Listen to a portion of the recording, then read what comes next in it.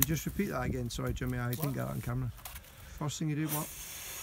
First thing you do is take out last year's growth. What's that? Remove it the best you can for the while without attacking somebody.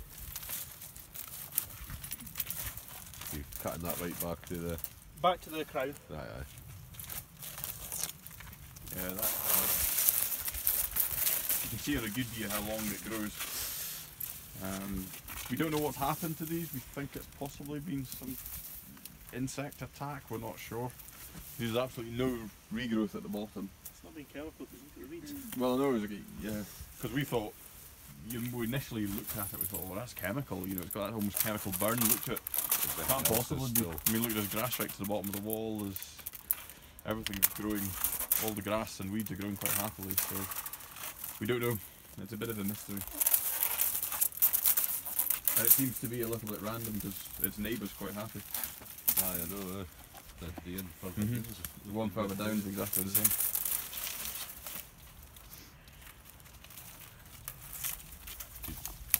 What, no weeds out at the bottom as well? Yeah. Kind of rough. Still the worst out. Aye. The best thing to do with the growth is put it all in a pile. Just get it out of the way so it's not going to interfere with the, the fresh growth. You just got to be able to sort that out later on, or, or we- We'll bring a tractor and trailer in and we'll get it all loaded in. Then what you want to do is you get find the growth to the crown crown and bring it 90 degrees for the wall.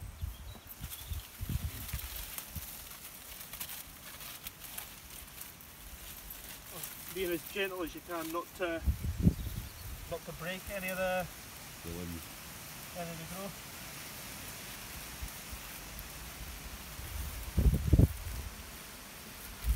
As the new growth sort of matures and the weather gets colder, it becomes very brittle. So that's why we do it at this time of year. We've harvested most of the brambles, um, and that's still flexible, still pliable. If we were to leave it until winter until all the leaves have dropped off, it's very brittle, very easy to break. Cheers.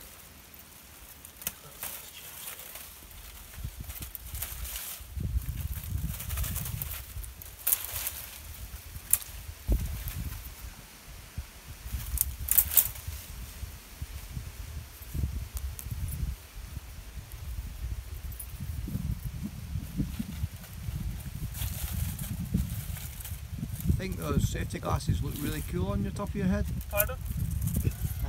ah, but I don't. There's nobody working around me, so it's only going to be a little fault there. Well, I'll probably pop, put, put them down. We don't want to have it on camera. Bad Jimmy losing an eye. practice. I don't know, 250 for You've Been Framed. So it's law tail, eh? It is. That'll not happen today. No, it probably will happen. Make this last one. The amount of accidents I've had in the last month, we don't have champion. Yeah.